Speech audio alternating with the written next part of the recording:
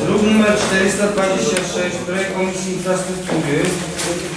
I tutaj to po, pozwolę sobie... Nie, 427. No, pozwolę sobie e, ze względu na brak przewodniczącego komisji zreferować to. Tu w paragrafie pierwszym przyjmujemy rezygnację radnej pani Patrycji Krok-Szklankosa z komisji. Komisja przyjęła, przyjęła komisja tą rezygnację. Czy otwieram dyskusję? Są jakieś wnioski, uwagi? Nie widzę. Przystąpimy do głosowania. Kto jest za? Proszę o podniesienie ręki. Dziękuję bardzo. Kto jest przeciw? Jedna osoba. Kto się wstrzymał? Nie widzę.